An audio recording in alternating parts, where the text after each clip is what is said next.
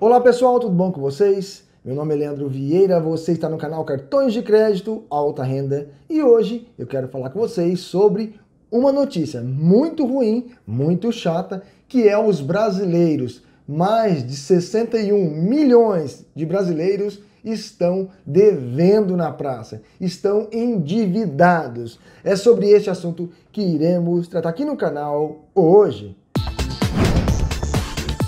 Gente, segundo a nota do SPC Brasil CNDL, né, mais de 61 milhões de brasileiros encontram-se endividados na praça. A estimativa do SPC é que em janeiro de 2020 começou o ano para essas pessoas devendo mais de 61 milhões de pessoas estão em atraso, estão endividados, estão negativados no SPC, dificultando então de poder fazer compras aí na praça, poder fazer compras parceladas, usar um cartão de crédito e seus limites. Eu vou printar aqui a tela, vamos dar uma lidinha nessa pequena nota do SPC dado aí no caso para a Gazeta Digital, tá ok? Mais da metade tem dívida em atraso de até um mil reais. Somando todas as pendências, cada consumidor inadimplente deve, em média, R$ 3.257,91, já descontando os efeitos da inflação. Os valores observados agora são de 30% menores do que no início da série histórica, em 2010, 4.238,32. Em dezembro, o recuo mais expressivo da inadimplência na comparação anual se deu nas dívidas com o setor de comunicação, que englobam contas de telefonia, internet e TV por assinatura, queda de menos 16,4%. As dívidas bancárias que levam em conta cartão de crédito, cheque especial, empréstimos e financiamentos caíram menos 1,9%. Já as dívidas contraídas no comércio via crediário subiram 0,9%, enquanto as pendências básicas como água, luz, crescem 2,1%.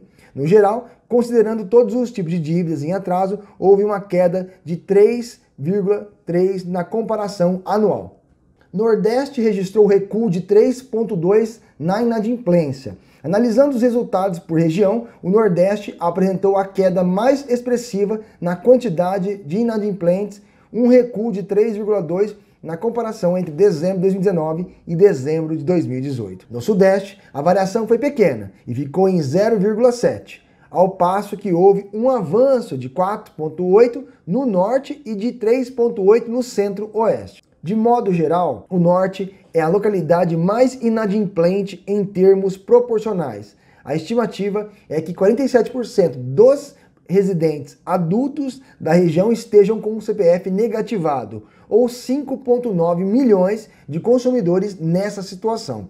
Em seguida, aparece o Centro-Oeste com 42,4% ou 5,1 milhões de inadimplentes, Nordeste 40,2 ou 16,6 milhões de negativados. Sudeste 37,4 ou 25,5 milhões de pessoas com contas em atraso. E o Sul 35,5 ou 8,2 milhões de inadimplentes.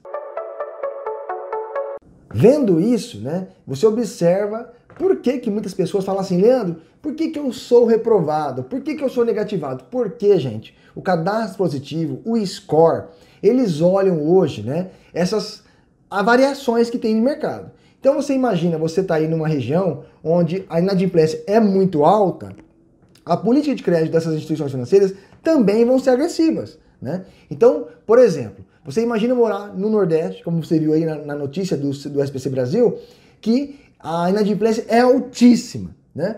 Então, por que que muitas pessoas falam assim para mim, Leandro? Eu fui lá no banco tentar abrir uma conta, fui reprovado. Porque a régua de aprovação em determinadas regiões é muito alta. Vocês podem ver que vocês vão tentar abrir conta em algum banco de alta renda, eles exigem um investimento mínimo aí de 30 mil reais, 100 mil reais, 150 mil reais para poder aprovar uma conta segmentada. Né? Por que, que alguns cartões não são aprovados? Porque o risco de crédito dependendo da região, é muito alto. E aí eles aumentam né, a régua de aprovação em determinadas regiões, tá certo? Tá aí para vocês a nota do SPC Brasil referente a mais de 61 milhões de pessoas inadimplentes no Brasil. É triste ver isso, mas se Deus quiser tudo vai dar certo, logo logo vai voltar às normalidades para todo mundo aí conseguir pagar suas contas. Dívida chama dívida. Se você está devendo uma conta de luz, uma conta de água e não tem dinheiro para pagar porque vai cortar água e luz, você adquire um empréstimo para poder pagar aquela dívida, pensando que no mês seguinte você vai quitar o empréstimo e mais a conta de luz que vai vir de novo, vai virar uma bola de neve. Então, a melhor forma de você sair da dívida é você não entrar nela, tá? E como que eu não entro numa dívida, Leandro? Eu tenho que saber o quanto que eu posso gastar. Se você ganha mil reais por mês, trabalhe os seus mil reais. Se você tem os mil reais para pagar água, luz, telefone, né?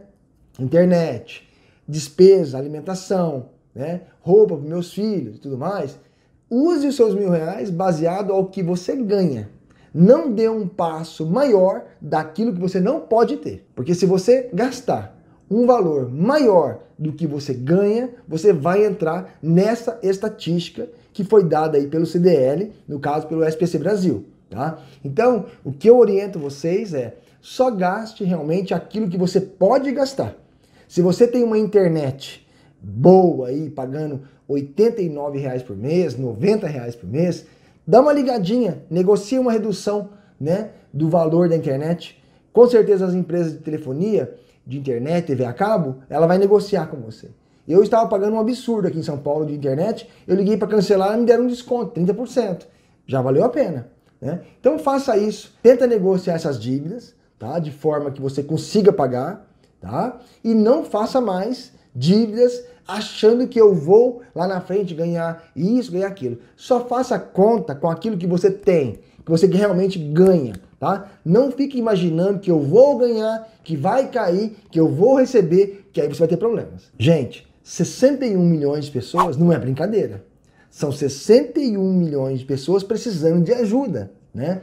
Então você imagina que essas pessoas que estão negativadas no SPC não estão porque quer, né? A gente não vê dessa forma que está aí no SPC porque quer. Está porque aconteceu alguma coisa no decorrer da vida. Pode ter acontecido um desemprego, né? Tava pagando suas contas direitinho e geralmente ficou desempregado. Tá trabalhando com autônomo e o dinheiro não está entrando, né? Está trabalhando diarista, mas não tem casa suficiente para poder ganhar a sua diária. Tem muitas coisas que pode ser comentado aqui que pode estar tá acontecendo, ou que aconteceu. Né? Então, o que eu realmente espero que aconteça é que vocês consigam realmente sair dessas dívidas tá? e que não volte a entrar de novo em dívidas. Controle a educação financeira na sua casa. Tá? Como eu falei agora mesmo, se você gastar realmente só aquilo que você pode gastar, já é um passo. Tá? Gente, se você conseguir ter uma reserva, né, fazer uma reservinha, mesmo que seja pequena, é, em, em algum momento acontecer de faltar algum valor aí na sua renda, essa reservinha você pode usar. Tá? Então, pense nisso, pense direitinho e caso você consiga pagar essas dívidas, ore a Deus, peça bem para vocês não caírem novamente nessas armadilhas da dívida. Que dívida é uma coisa terrível, né? A gente dorme é, pensando amanhã como que eu vou fazer para quitar, né? Então é assim que a gente acaba vivendo aí. E outra coisa, a gente paga a dívida, vira o ano, começa de novo com dívida. Nós temos que parar com isso. Você pode pegar na televisão, o repórter vai, entrevista algumas pessoas, ela, ela fala: acabei de pagar agora e vou começar o ano com nova dívida. Não, não, não, não, não. Não façam isso, tá? Quitem a dívida e pensa no ano que vem de não entrar em dívida novamente, tá certo? Esse foi o nosso quadro, as rapidinhas do Alta Renda. Pessoal, eu espero que vocês tenham esse vídeo. Até o próximo. Fique com Deus.